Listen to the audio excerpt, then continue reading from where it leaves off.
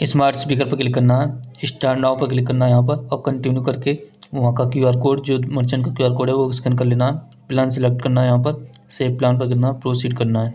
यहाँ पर मर्चेंट के फ़ोन पर एक ओटीपी जाता है।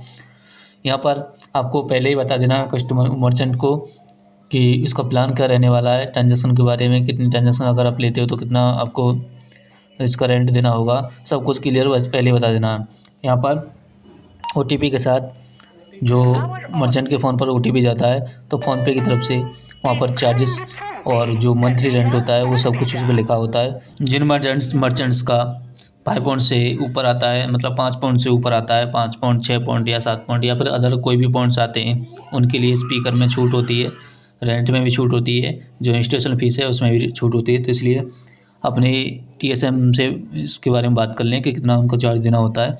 वहाँ पर लिखा जाता है कितना उनको देना होता है। तो उनका एक अलग प्रोसेस होता है। यहाँ पर ओटीपी आएगा।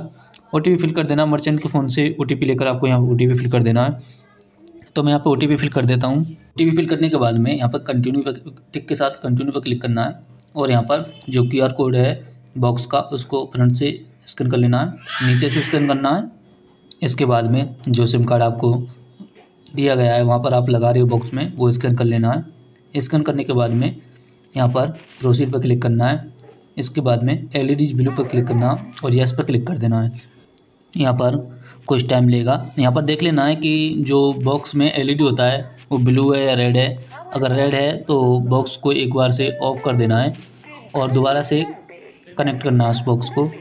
तो अगर रेड है तो करना है। अगर नहीं है, अगर ब्लू है तो उसको ऐसे ही रहने देना है ये थोड़ा सा टाइम लेता है, पाँच मिनट के समथिंग कुछ ऐसा नहीं है कि पाँच मिनट ही लेगा। पाँच मिनट लास्ट टाइम है इसका। यहाँ पर एक से दो मिनट में भी हो जाता है, या फिर थर्टी सेकंड में भी हो जाता है कहीं कहीं भी नेटवर्क ठीक होता है तो। तो यहाँ पर अगर ब्लू नहीं है रेड है तो ये देखना है एलईडी ब्लू एक बार जो आपका नेटवर्क है, उसको बंद कर देना है और बॉक्स को बंद कर लेना है दोबारा से। और दोबारा से दोनों को चालू करने के बाद में फिर एल ब्लू पर क्लिक करना है।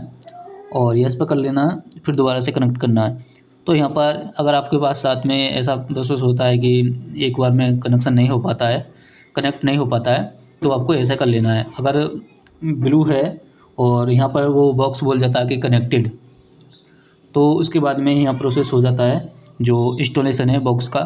तो मैं दिखाता हूँ यहाँ पर आपको, मेरा प्रोसेस होने वाला है यहाँ पर।